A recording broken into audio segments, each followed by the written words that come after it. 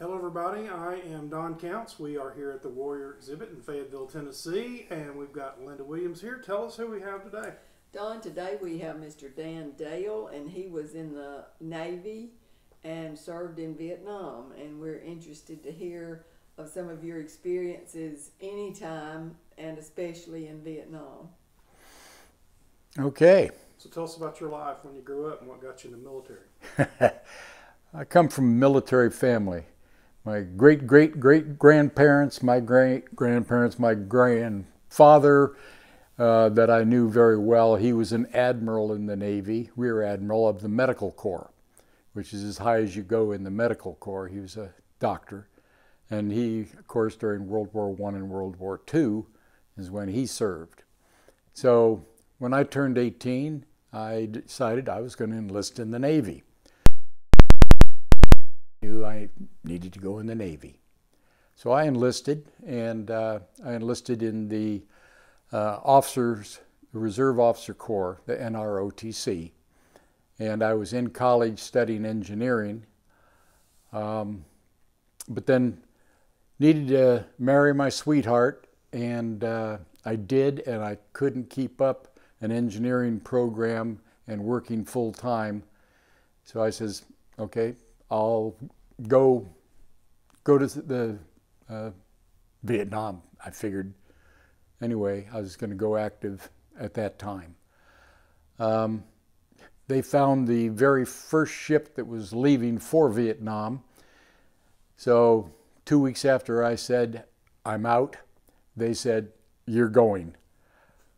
Take your sea bag. And I was put on a World War II tin can. A, a tin can is a uh, destroyer. That's what we call them in the Navy because the hulls are as thin as a tin can. Bullets can go right through them. Big engines, big guns. They were destroyers during World War II, and I was put on one of those. And uh, over to Vietnam I went, where uh, we provided gunfire support, and we were a shallow enough draft that we were able to go up the rivers and provide gunfire support to all those who were on land when the aircraft and the helicopters couldn't go anywhere because of the, the monsoons, the fog. Uh, the weather was so bad over there so much the time that you know we could provide that gunfire support and I was working in CIC, the Combat Information Center or Intelligence Center for Combat, and uh, so I I worked with the scouts on the ground. I worked with the aircraft above. Um, I worked on the radar. I worked electronic countermeasures as an intelligence petty officer. So that's what I did my first year in Vietnam. Of course, that was. Um, what year was that? That was 1967 into the beginning of 68. Um, that's where I got into all my Agent Orange. Uh, that was our drinking water. That was our cooking water. That was our shower water. We had no idea going up the rivers that smelled so bad of decaying brush. Uh, all the plants that had died, everything washes down into the rivers, and we were up the rivers. So, with the desalinization uh, that ships do, you know, to create salt water into drinking water, all it did was intensify the Agent Orange. So everything in me is quit by this time. Uh, it started quitting by the time I came back. So that's that's my first tour of duty over there. It got a little more exciting. Uh, the USS Pueblo was was an intelligence ship up near North Korea, and it was captured. And today, it is the only U.S. naval ship still showing commissioned that's being held in captivity. And the men that were on it were held as POWs. Because we were on a tin can, and I guess the ship's size would bring us in to the harbor in North Korea, we immediately went up to North Korea.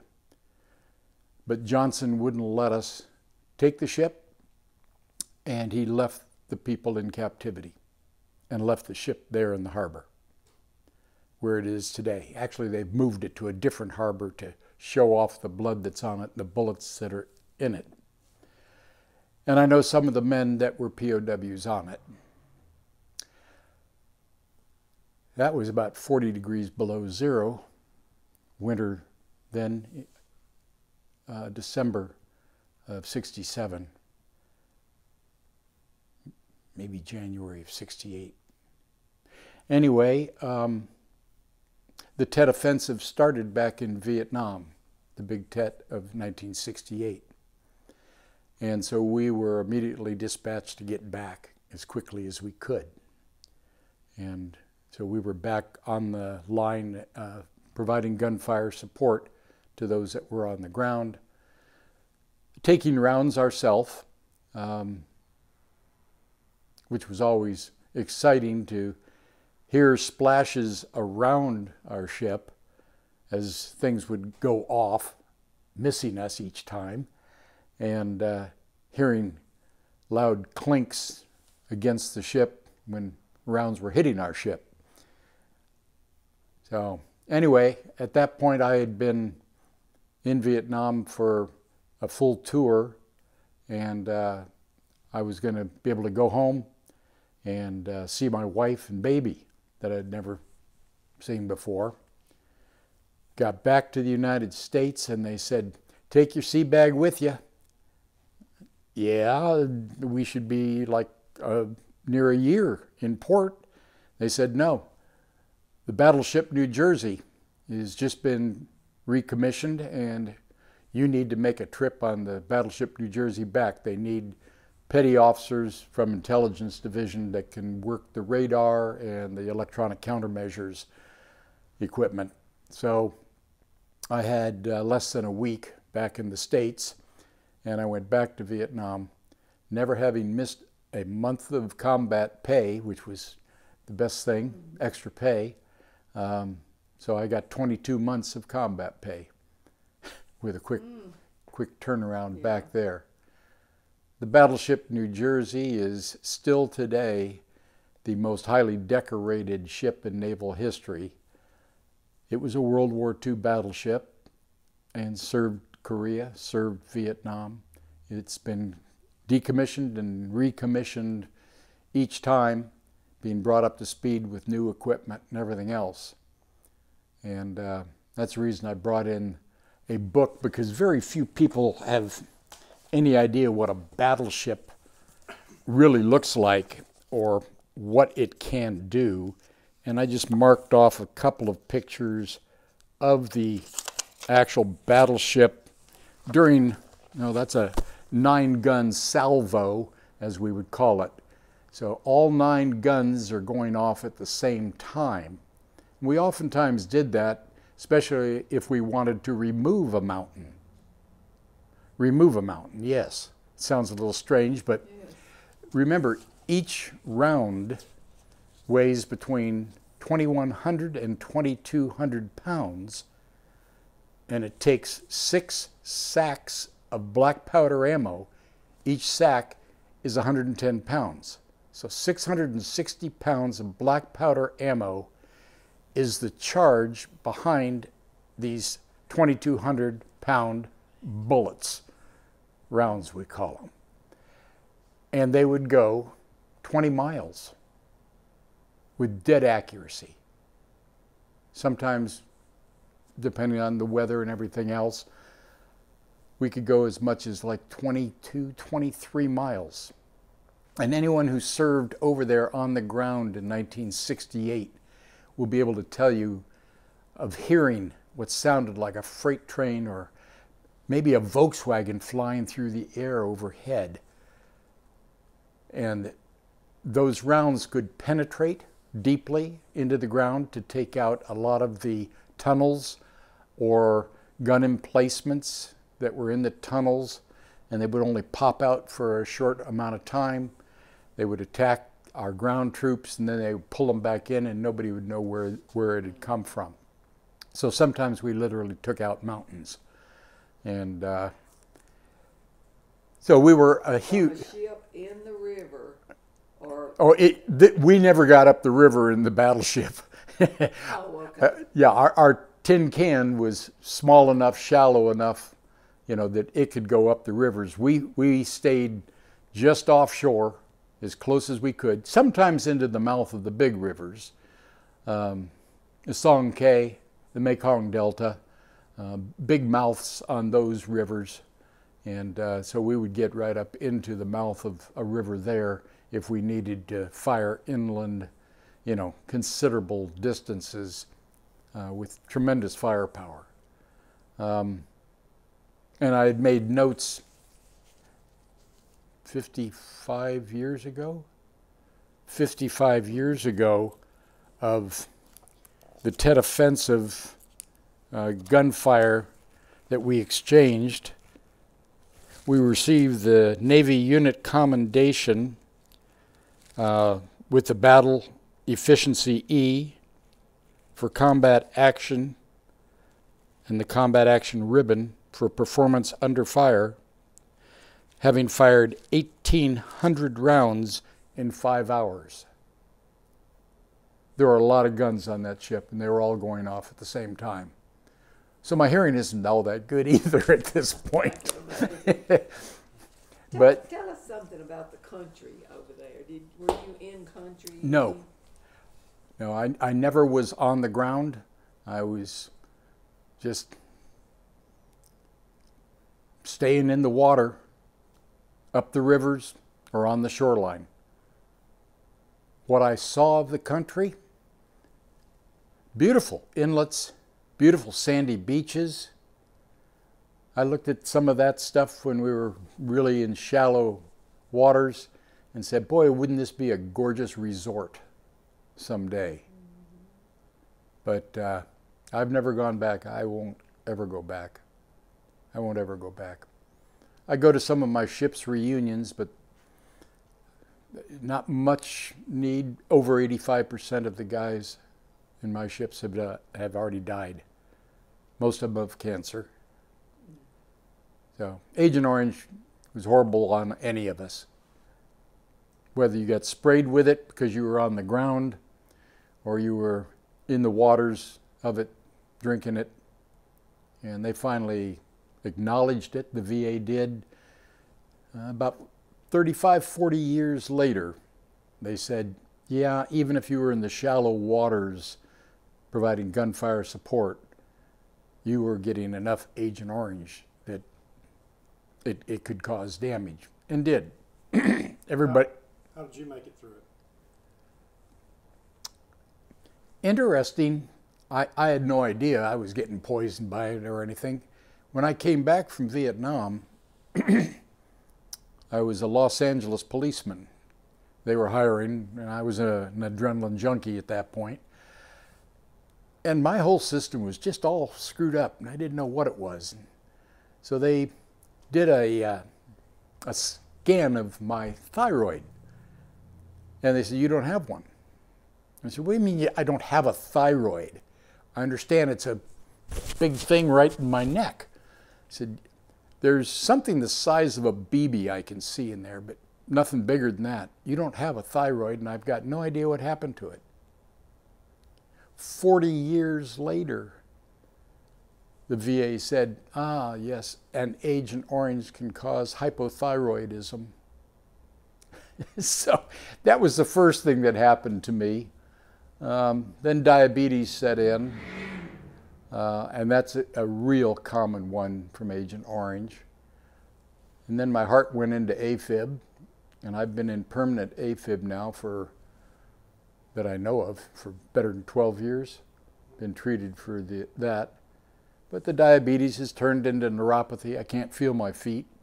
I look like a drunk on a golf course, but I love playing golf because I can't keep my balance. When I'm standing over the ball, I almost fall over sometimes, and that's a that's a hoot to people that are with me. You already been drinking? I, no, I haven't been drinking. Just don't feel my feet the same way other people do. And that makes a difference in your balance. Yeah, it sure does. It sure does. But um, If you had it to do over, would you still go in the Navy, oh yeah, serve in the military? yeah. I don't like digging ditches. I couldn't see being on land, but it, it, it was it was history. And my son, he went in the army. He went in, you know, soon as he could. There's no draft or anything. And then his daughter, my granddaughter, as soon as she turned 18, she joined the Marines. She said, Grandpa Navy, Dad Army, I'm going to show all you up. And she's only five foot two, little Southern pistol, and uh, boot camp for the Marines for women is exactly the same as the men. They all go through the exact same torture, and uh, she kept up with the men, carried the same size pack on her back, and outshot most of them because she she's a hunter. So, military is in my history, um, and uh, Vietnam happens to be my history. I did 22 months, and then uh, Johnson decided he didn't want any more of the bad publicity. So I got an early out because I had had 22 months of combat, and uh, I, that was my active duty time, and I did the rest as a reserve, and came back home and joined LAPD. So that was my next. What'd you do after that, and what led you to Fayetteville, Tennessee? Well, I got hurt real bad with LAPD, and they had to pension me off, disability pension. My back was so badly broken up from an altercation, and uh, so I moved away from Los Angeles, and I figured I'd go back, finish my education. So I got my bachelor's degree, my master's degree, and my doctorate degree. Good for you. And they say those who can do and those who can't teach. So, Wait a minute. so I began teaching firearms, teaching survival, and uh, doing. I- I was a criminalist, but I uh, also had a law degree. So I was a law professor for 30 years in college, and uh, then I retired as the dean of the college in Central California. Wow, what a career. So after I re- retired from teaching, I moved to San Luis Obispo, California, and I still have a home over there. And uh, started up uh, an American Legion Riders group to take care of all the events that could possibly be thought of and needed for funerals and escorts and you know ceremonies. I became the commander of the American Legion post out there, the VFW post. And then I just got sick of California and their liberal politicians and their stupid ways. You can't fix stupid. That's what they say. And I know because it didn't used to be that way. I went to the same school my grandfather was a medical officer at UCLA that my mother graduated from UCLA and I went to UCLA. And Los Angeles used to be a beautiful place. And California still has beautiful weather, but the people have gone crazy there. So I decided to get out of it. My wife is a CPA. I said, Where's a good place to live? I'm tired of giving all of my taxes to this idiot here in power. And uh, she said, Well, we got five states that don't charge state income tax. And I said, No, that one. No, that one. No, no, way too cold, that one. Hey, this one's right over where our son lives. contacted him and says, I'm looking at buying a home out there. He says, Well, I'm transferring to the Nashville office now. He's a federal investigator. So he says, anywhere within a you know 50 mile radius would be just fine. I says, Well, find me a place. I want good neighbors. And that brought me to Fayetteville. Well, we're glad it did. That's right. Good start. And you talk about good awesome. good people. Oh my God. You know, come well, I I've been I bought my home here in I think June or July, just of this last year. Um, I was on the road. I did it all by internet. Had my son drive by and take a look at it. We were in our motorhome traveling through the Northwest at the time. I bought it. And finally got into town here two, three months later. And so I went to the assessor's office, whatever it was, and turned in my paperwork. And they said, Well, uh, do you have uh, VA disability? I said, Yeah, I'm 100% disabled. Do you have a letter? Yeah, I do. That's going to save you on your property taxes. Holy mackerel. I wasn't expecting that. Yeah. And then a license for one of my vehicles. And they said, You hunt, fish? I says, I'm going to.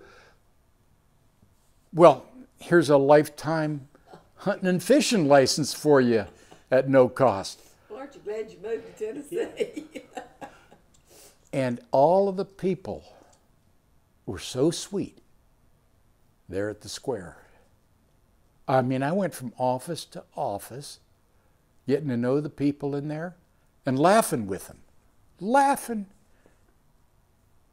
So, yeah, I've kind of fallen in love here.